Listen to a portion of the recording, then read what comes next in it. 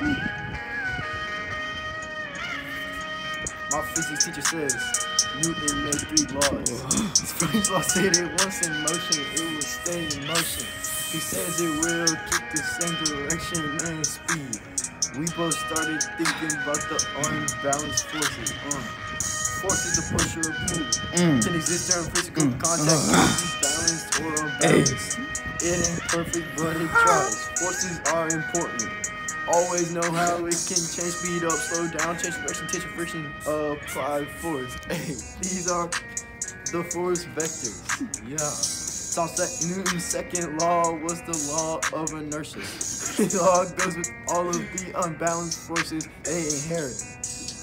The acceleration is dependent on two variables. The net force on the object and the mass of the object. Yeah.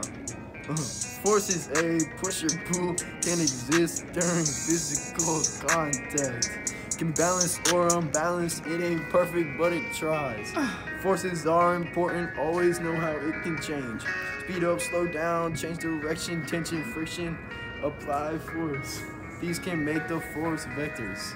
A, hey. We find out that Newton's third rule is really easy. Ah. Reaction has an equal and opposite reaction.